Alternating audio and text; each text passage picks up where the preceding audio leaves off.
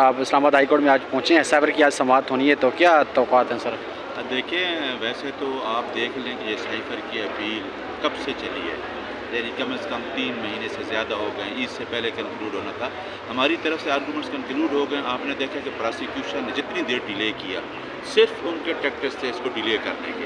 تو آج لازمی بات ہے، پچھلی تاریخ پہ پراسیکیوٹر نے کہا تھا کہ آج میں اس کو کنکلوڈ کروں گا۔ باقی اس کیس میں تو آپ کو پتہ ہے، کچھ بھی نہیں ہے، ایک ہی چیز بار بار ڈسکس ہو رہی ہے۔ اور اسی کے بارے میں کہ جی وہ ریٹین کس طرح سائفر تھا، کس کے پاس تھا، باقی تمام آرگومنٹس ہو چکے ہیں۔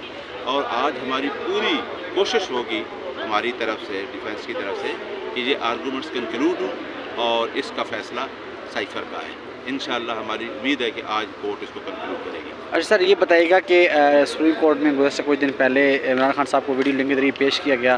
ایک فوٹیج منظر عام پر ایک فوٹو منظر عام پہ آیا اور اتنا کوئی وائرل ہوا ہے۔ آپ نہیں سمجھتے سیفر جو اتنا بڑا معاملہ ہے اتنا سنگین معاملہ ہے اس میں عمران خان کی جو ویڈیو لنک کے ذریعے یا فزیکلی ان کی جو پیشی ضرورت سمجھی جاتی ہے۔ دیکھیں نئی صاحب آپ کو پہلے پتہ ہے کہ ایک آدمی کو سسٹم میں مائنس کرنے کے لیے اس کے خلاف دو سو کیس بنایا گیا فیک فیبریکیٹڈ کیسز پھر اس کے اوپر پریشر ڈالا گیا کہ شاید عمران خان باہر بھاگ جائے گا۔ نہ تو وہ سسٹم سے مائنس ہوا ہے، وہ اپنے کیسز کا بیٹھ کے مقابلہ کر رہا ہے۔ اور ایسے کیسز القادر کیس دیکھ لیں، سائفر دیکھ لیں، عدت کا کیس دیکھ لیں، تمام کیسز جو ہیں وہ جھوٹ پر مبنی ہیں۔ تو اس دن جو پچھلی تاریخ تھی سپریم کورٹ میں، اس دن کہا گیا تھا کہ نیب آرڈیننس کی جو امینڈمنٹ کے اوپر ججمنٹ آئی تھی، جو فارمر چیف جسٹس کے بینچ نے دی تھی، اس میں کیونکہ پٹیشنر عمران خان تھا، اب پٹیشنر کی حاضری ضروری تھی، تو مسٹر اطر من صاحب جسٹس اطر من صاحب نے کہا تھا کہ عمران خان کو اس کیس میں بلایا جائے۔ اب اس کی فزیکلی پریزنس کو تو مائنس کیا گیا لیکن کہا تھا کہ ویڈیو لنک پہ کریں گے۔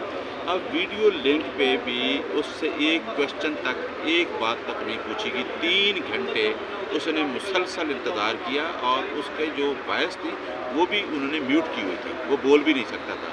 تو آپ دیکھ لیں کہ ایک آدمی ایپیلانٹ ایک پٹیش جو فارمر پرائم منسٹر ہے اس کے ساتھ اس مقدمے میں اس طرح ہو رہا ہے عام آدمی کو پھر انصاف کی کیا ججز کے خلاف پریس کانفرنس کر رہی ہے نون لیگ۔ نون لیگ والے معزز ججز کے خلاف پریس کانفرنس کر رہے ہیں اور بیٹھ کے وہ ججز کے اوپر اسلام آباد ہائی کورٹ کے ججز کا نام لے کے پریشرائز کر رہے ہیں۔ اور وہ لوگ جن کو اسلام آباد ایئرپورٹ پہ کنوکٹڈ کو بیل دی گئی اور وہاں پہ نادر اسلام آباد ہائی کورٹ چلا گیا۔